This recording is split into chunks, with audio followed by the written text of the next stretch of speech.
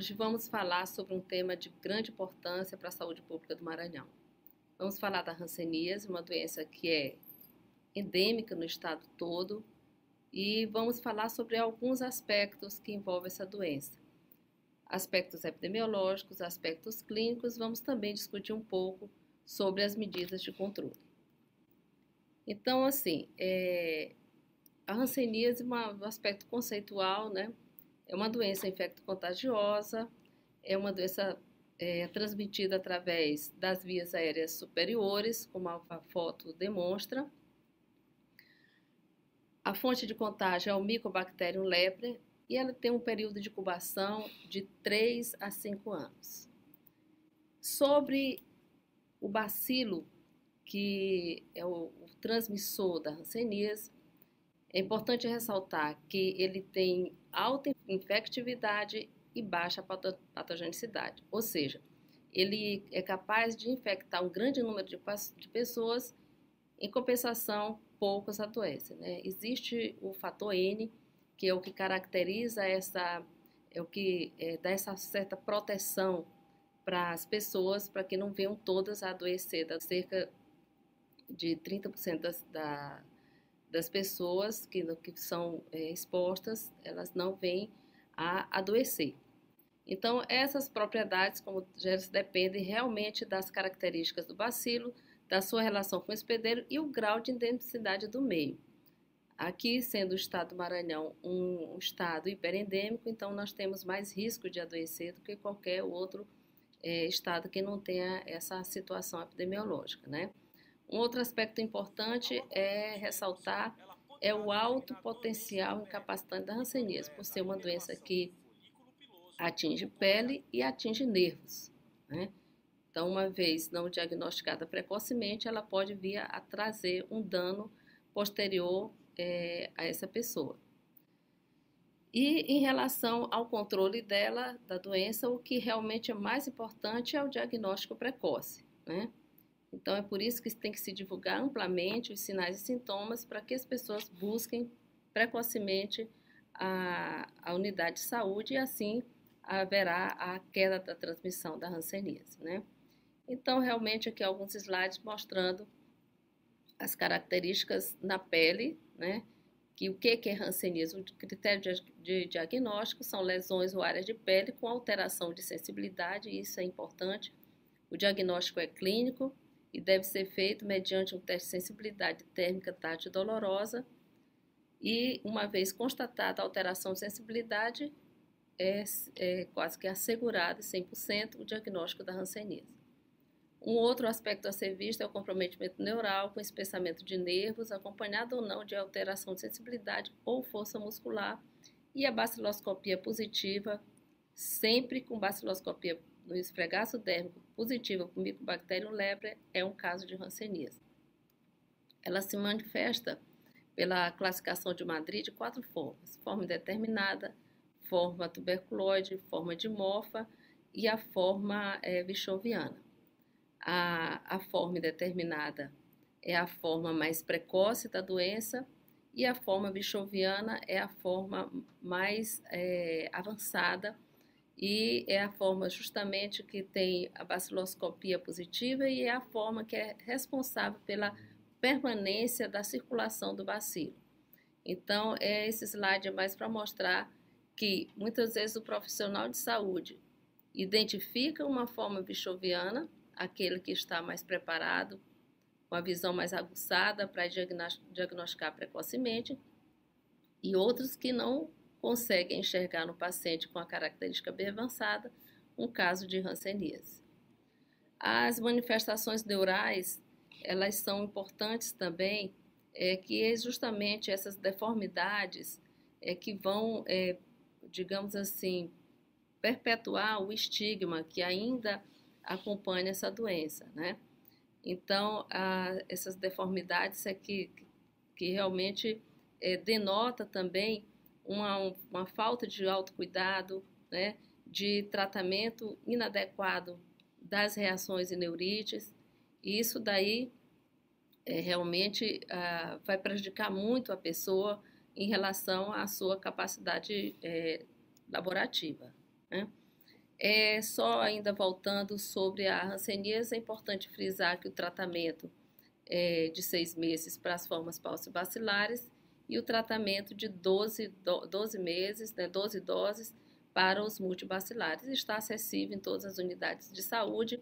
A portaria 3.125 é a, a portaria de 2010 que orienta todos os cuidados, tratamento, tratamento alternativos e todas as medidas de controle de exame de contatos em relação à hanseníase.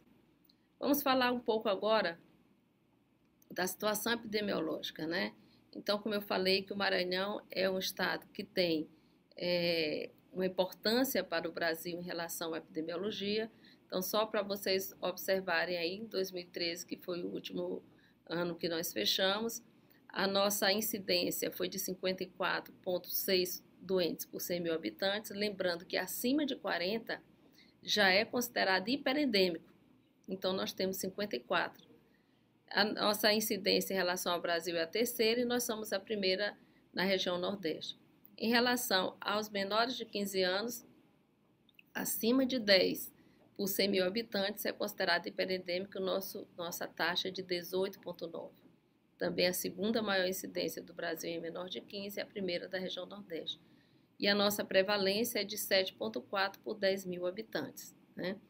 Então, nós temos uma prevalência muito elevada, porque a, já a, a Organização Mundial de Saúde preconizou que, para ter eliminada a hanseníase, considerar como eliminada, seria ter menos de um doente por 10 mil habitantes em prevalência.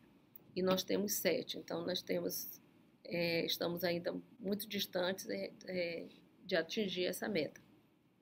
Aí é só o mapa do, do Brasil, para que se possa observar a situação do Maranhão em relação aos demais estados. Você vê que está em, em, cor mais escura, né, os estados do, do Maranhão, Tocantins e Mato Grosso, como as maiores incidências, prevalências, perdão, da hanseníase no Brasil. O outro lado é por municípios. Assim como a prevalência e incidência também, né, mostrando o Maranhão em destaque em relação aos demais estados. E voltando para o nosso estado, nós vemos aí nas áreas mais escuras, né, as áreas que são que têm a maior concentração de casos de hanseníase.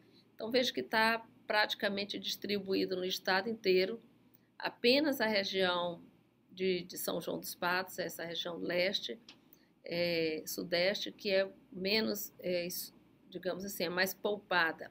Em compensação, essas taxas elas não são consideradas baixas, elas são consideradas ainda altas. É, o que é menor, digamos assim, em relação às taxas de hanseníase, a, a detecção, não, o menor nosso ainda é muito alto. Nós saímos do hiperendêmico para o muito alto e o alto. Então, assim, podemos, é, de uma simplificar, dizer que o estado do Maranhão praticamente todo é endêmico em hanseníase. Aqui só para mostrar também para vocês como é que está a nossa situação ao longo dos anos, né? Hoje nós temos essa incidência de 54,6, como foi mostrada, mas ela já teve praticamente o dobro, né? Nós estamos no oitavo ano de queda de incidência, mas caindo no muito alto. É, da mesma forma, estamos assim praticamente estáveis em relação a menores de 15 anos, reforçando a importância epidemiológica do estado do Maranhão. Uma coisa importante de se observar também é, a avaliação do grau de incapacidade física né, nas nossas coberturas e o percentual das pessoas, de pessoas que já são diagnosticadas com deformidade, né, com grau 2 de incapacidade. Então, nós temos um, retratando aí que muitos dos nossos pacientes, por exemplo, em 2013, 7% deles foram diagnosticados já com uma incapacidade física, ou seja, muito tardiamente. É, um indicador importante também de se falar é a cura. Nós, nós precisamos é, garantir para que todos os nossos pacientes eles saiam com alta cura. E nós estamos com um percentual, digamos assim, é, regular em relação à cura. Nós esperamos que seja, o ideal seria 90%, mas conseguimos atingir na média de 80% dos nossos pacientes curados, né? É só ressaltando que o tratamento é acessível, disponível em todas as unidades de saúde, é a poliquimioterapia, né, tanto para o multibacilar como o pulse, e é necessário uma adesão maior ao tratamento para que todos eles saiam curados com o mínimo de deformidade possível. Uma, grande, uma medida de controle importante são os contatos. Os contatos são aquelas pessoas que convivem ou conviveram no, no domicílio nos últimos cinco anos. São as pessoas mais expostas, mais suscetíveis a, a, a, a adoecer de Hanseníase. Então, é importante que, uma vez diagnosticado um caso de Hanseníase, todas as pessoas que convivem nesse domicílio devem ser examinadas, mesmo não tendo queixas mas devem ser examinadas para que se possa identificar a fonte de infecção ou outra pessoa que possa ter adoecido a partir daquele caso índice. E nós estamos, assim, como vocês têm visto, nós estamos melhorando a, a cobertura dos exames de contato, que ainda não é o, ideal, né? Nós pactuamos para 2014 uma, uma, um percentual de 76% desses contatos. Estamos em 2013 com 67. Quanto mais, principalmente em menores de 15 anos. Gente, quando tem um caso em menor de 15 anos, é, tem, uma, tem sempre um adulto. Tendo uma criança doente, você tem um adulto que está infectando essa criança, que fez com que ela adoecesse, está próximo. Então, nós precisamos, no caso específico para menores de 15, buscar, mesmo fazer uma busca ativa, um controle maior e identificar o caso tratar e quebrar a cadeia de transmissão.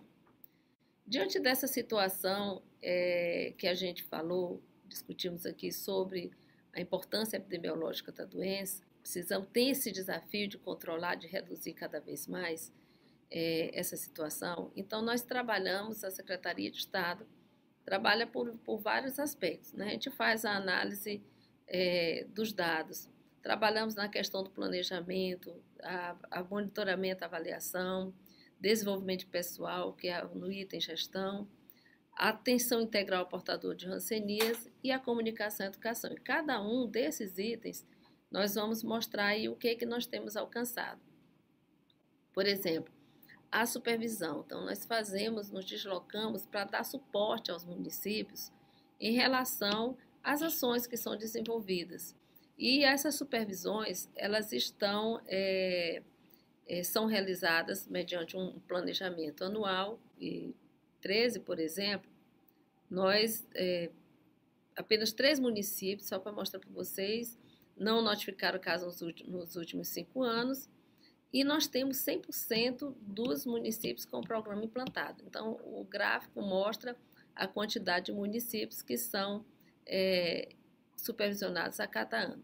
Então, a gente sempre atinge essa meta, em torno de 80 municípios são é, acompanhados em loco a cada ano.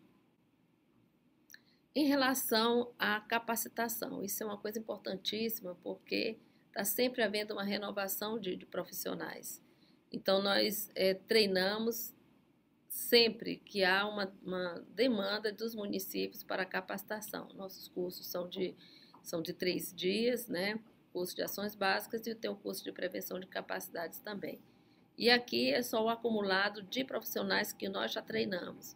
Então, de 2002 a 2013, já foram 4.522 profissionais treinados no Maranhão. Aí é só para registrar o, um dos nossos treinamentos que eu falei, o curso de prevenção de capacidades com carga horária de 40 horas e o treinamento nas ações básicas de controle da hanseníase, que tem uma carga horária menor, e é esse treinamento que vai é orientar os profissionais ao diagnóstico, tratamento e monitoramento desses, desses casos. Nós temos é, parcerias importantes, né, e, e precisamos também é, garantir atendimento dos pacientes nos diversos níveis de complexidade. A grande maioria, mais de 80%, são resolvidos e acompanhados na atenção básica. Mas tem alguns que necessitam de um, uma de internação, inclusive reações graves. e, e algumas cirurgias, cirurgias preventivas, que é a neurolise, ou então cirurgia reparadora. Então, nós temos é, disponíveis para atendimento o Centro de Saúde Genésio Rego, aqui no, na Vila Palmeira, e o hospital aqui em Lisboa, lá no, no Anjo da Guarda. E as cirurgias de, é, repara, é, preventivas, a neurolise, são realizadas aqui no Hospital Universitário, é uma parceria que já é, foi iniciada em 2002 e continuamos a cada ano fazendo cirurgias. É, aqui são a parte de mobilização e campanhas. Nós já, um exemplo aqui, por exemplo, de 2006 a 2007, só para citar, fizemos uma campanha com escolares é, na Grande São Luís, foram muitas crianças, 104.590 alunos que foram examinados, foram diagnosticados casos de rancenias, muitos profissionais treinados, foi uma experiência exitosa de campanha com escolares e ah, que perdura esse ano, por exemplo, nós vamos voltar a falar da campanha que está acontecendo este ano. Quero ressaltar também é, campanhas municipais. Gente, é importante que a gente esteja a cada ano é, fazendo realmente essas mobilizações. Aqui nesse gráfico vocês estão vendo é, que, que é o município né, de Bacabal, por exemplo, ele estava em queda de incidência, uma queda vertiginosa. Então, nós fomos, é, e se acreditava que é porque realmente estava se controlando a doença nesse município. Fizemos capacitação e campanha, veja só como imediatamente o gráfico subiu, né? E de uma incidência de 96 em 2007 passou para 178 no ano seguinte, depois da campanha. Então, só para lembrar para vocês que nós não podemos baixar a guarda, temos que estar sempre, essa queda ela tem que ser confirmada. Qualquer município, se você verificar se está baixando, então vamos ver se isso é porque está controlando a doença mesmo ou é falta de busca. Aqui é um outro exemplo da, de campanhas. Aqui já foi em Coroatá uma campanha em 2008 e outra em 2012. Vocês veem que nos anos que, faz, que se tem campanha, os números crescem e nos anos seguintes eles caem. Então, realmente é, mostra que a fragilidade, digamos assim, da atenção básica na identificação desses casos, na busca da rotina de casos de hanseníase. É, uma outra experiência o ano passado importante foi é, aquele governo itinerante, onde foi incluída as, as consultas dermatológicas e nós tivemos um resultado interessante, que foram 74 casos novos de hanseníase no período de, de abril a junho. Então, 18 municípios foram é, visitados e olha só a quantidade de casos novos. Então, teve município, por exemplo, aqui citamos Lima Campos, que foram 12 casos novos detectados praticamente um dia só, sem uma, uma mobilização prévia. Foi só as consultas mesmo que, que buscaram é, é, a unidade de saúde nesse dia de, de assim, foi uma visita rápida. Então, aqui mostra realmente que é, há uma fragilidade na busca da rotina de casos de ranceníase. Voltando às campanhas que, é, que a gente falou com escolares, o Ministério da Saúde, em 2013, iniciou essa campanha a nível nacional. O Maranhão é, se destacou, né, porque é, foi detectada nesse período da campanha 86 casos de ranceníase. Então, foram é, 26.353 escolares encaminhados para a unidade e detectado 86 casos.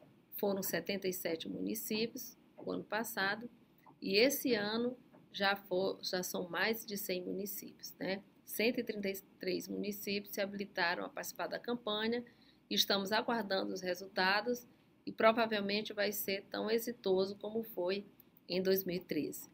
Este ano, além da, da hanseníase, é agregada nessa campanha também o tratamento de, da geomintias, né, com albendazol, e também alguns municípios, 26, que também são endêmicos para tracoma, é, foi agregado nessa campanha. Só mostrando também a, as iniciativas que tem que ser feitas para se detectar os casos, né?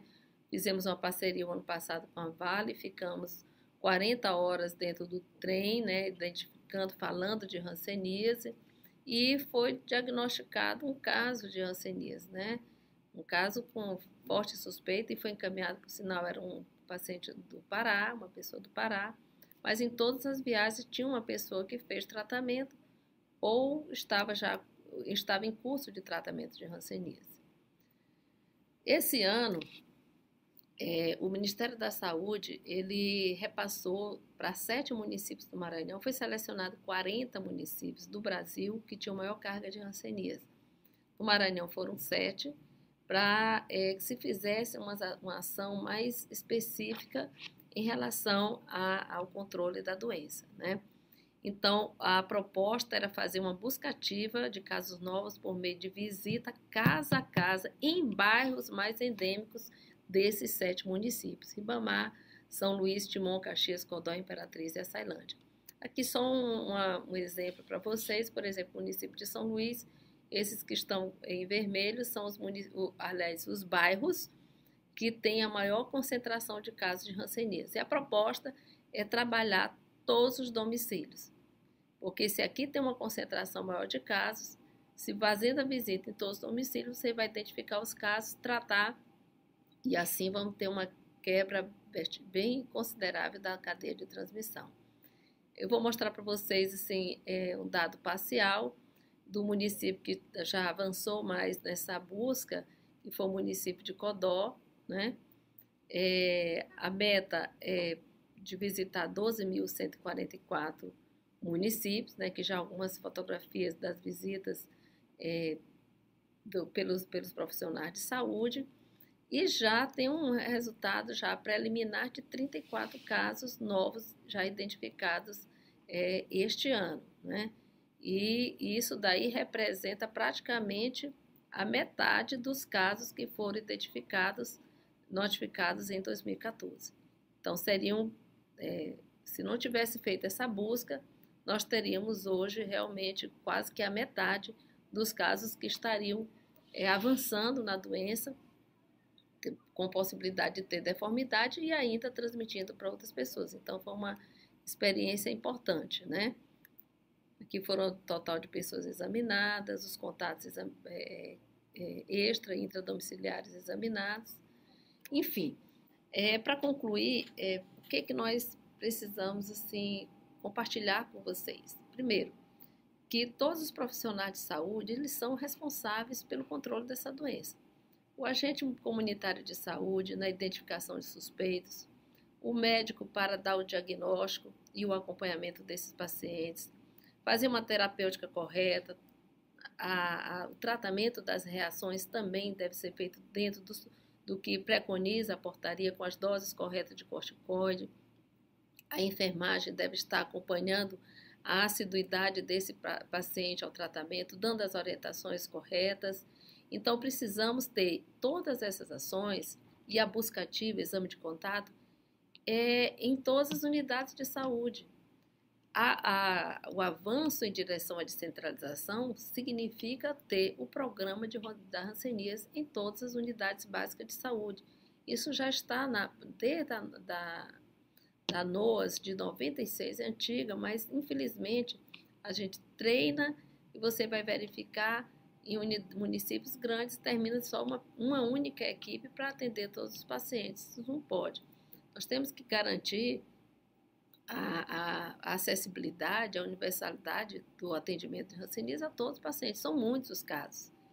Vocês já viram que o desafio é grande, então o que se precisa realmente é que as equipes elas assumam o, o diagnóstico, o acompanhamento, o tratamento desses pacientes que buscam sua unidade na rede básica. Isso aqui é um grande desafio. As campanhas, incremento das campanhas educativas e de detecção de casos novos. As pessoas precisam saber que mancha com dormência é sinal de hanseníase. E elas têm que garantir que aquela unidade de saúde vai é, dar um, um, uma resposta para ela, tá? Então, precisamos avançar nas informações, né? Utilizar o material, fazer palestras. Essa é uma oportunidade importante de estar se falando da hanseníase, né? e fazer campanhas mesmo de detecção de casos novos, né? Falar para a sociedade, para a população e dizer, olha, nós estamos aqui, pode buscar que aqui vai ter uma resposta. Precisamos quebrar essa cadeia de transmissão trabalhando nessas áreas que eu falei. A questão da vigilância dos contatos. Gente, ainda é muito baixa a nossa cobertura. Né? O contato é aquela pessoa que convive ou conviveu nos últimos cinco anos e foi a pessoa que realmente foi mais exposta à ação do bacilo. Ele precisa ser examinado. Embora ele aparentemente não tenha nenhuma queixa, mas ele precisa ser examinado. Todo o seu tegumento e ali que a gente vai identificar. Muitas vezes ele não vê, mas a mancha está lá nas costas, né?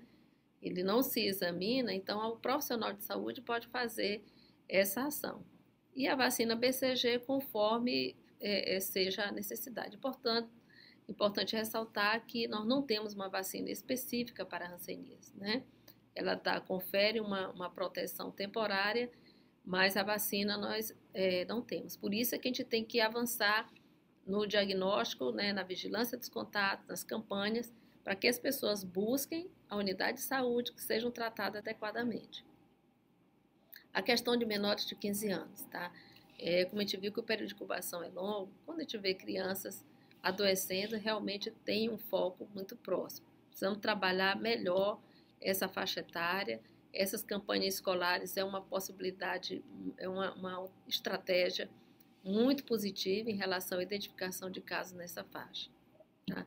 A questão do estigma, do preconceito, ainda é uma coisa que tem que se lutar. No pleno século XXI ainda existe, inclusive até profissionais de saúde que se afastam do, do, do, do doente, e isso daí só atrapalha, né? as pessoas não buscam a unidade de saúde também, com receio de que seja exposta a sua é, doença. Precisamos tratar melhor, conversar melhor sobre a doença para que esse preconceito não venha a interferir no, na, nas ações de controle. A questão da, da rede de referência e contra-referência, precisamos fortalecer a nível de município. É importante que nos grandes municípios estejam funcionando as suas referências municipais para aqueles casos que, das intercorrências, como eu falei, que cerca de 30% vêm a ter uma reação rancênica, algumas delas são mais graves e que precisam de um cuidado especial. Então, é importante é que se tenha, que se garanta essas, esses níveis de referência. A questão da reabilitação física também, ah, o paciente, em alguns momentos, ele pode precisar desses cuidados.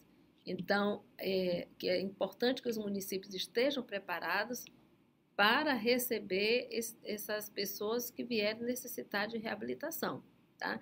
Não é construir uma, uma reabilitação específica para o doente hanseníase. Ele tem que estar inserido no NASP ou na, nas unidades específicas de reabilitação dos seus municípios.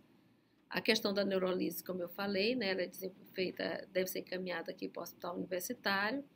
É, as, as oficinas de calçados elas têm que ser também descentralizadas para a região que tem o maior número de doentes, porque em alguns casos é, é, é necessário, por conta justamente do comprometimento neural, tem comprometimento neural, tem pacientes que desenvolvem úlceras e eles têm que ser realmente é, orientados para que se use o calçado adaptado e correto para cada caso. É necessário também se expandir as, atividades para comunidades especiais. Já fizemos algumas é, campanhas em áreas quilombolas, em áreas também é, indígenas, mas nessas áreas a, a prevalência é baixa. A questão das parcerias, né? Então, nós citamos aqui a DAO, a Vale, que fizemos é, parcerias mais recentes com a Vale, com a DAO já é uma parceria mais antiga, mas temos, o município tem que trabalhar com as pastorais, com a Secretaria de Educação, enfim, nós temos, sozinhos a gente não pode vencer esse desafio, não, precisamos realmente agregar, né? Juntar forças para que, que realmente a gente possa vencer a ranceníase. Então, essa é a última imagem aí, é de, de mãos unidas, né, com a luzinha aí, que são as ideias que podem, podem surgir, novas ideias, né, e tem surgido, né, uma ou outra município já fazendo uma ação importante, inovadora, e que é importante que se tenha essa concepção e esse entendimento de que, primeiro, Hanseníase é uma doença que tem tratamento e tem cura e que, infelizmente, o Maranhão ainda é, está no cenário nacional de uma forma muito, digamos assim, desconfortável. Deixamos de ser o primeiro para ser o, segundo, menor de 15, e a terceira maior, mas isso daí ainda estamos na evidência. É possível controlar, sim, se todos estiverem é, imbuídos no mesmo propósito. Eu falo a gestão municipal, os profissionais de saúde, é, o Estado dando é, condições para que os municípios possam desenvolver essas ações, e, enfim, a sociedade, as parcerias, tudo isso que a gente falou. Então, é possível, sim, e nós estamos lá na Secretaria de Estado, na Vigilância, nesses telefones que estão é, citados aí no slide, é, por esses dois e-mails. Estamos à disposição para qualquer esclarecimento, parcerias, apoio que vocês necessitarem. Muito obrigada.